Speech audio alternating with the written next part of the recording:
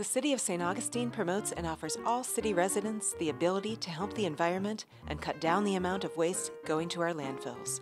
The city's recycling program provides each residential homeowner with a 65 gallon green recycling cart. In this cart, you can dispose of a variety of recyclable items. This cart is only for recyclable items, no yard waste or household trash.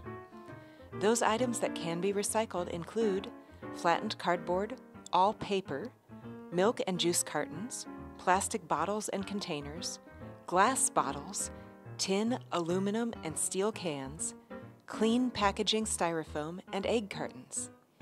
Items that cannot be recycled are wood, rubber, construction debris, yard waste, all plastic bags, hoses, light bulbs, styrofoam food containers, cleaning supplies, or other chemicals and electronics. Carts can be placed curbside after 7 p.m. the night before pickup and must be removed before 7 p.m. the day of pickup. Please place the carts right at the curb in a location easily accessible to the recycling truck.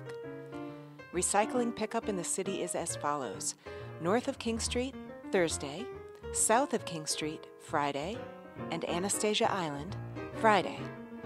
The city also has free drop off recycling locations at 601 Riberia Street, the Solid Waste Department, Red Cox Road by the soccer field behind R.B. Hunt Elementary School, north of town by Los Palmos Condos on San Marco Avenue, and three dumpsters located downtown at Tolomato, Spanish, and Toke Streets. If you have any questions about the city's recycling program or need to get a recycling cart, please call the city's solid waste department at 904 825 1049.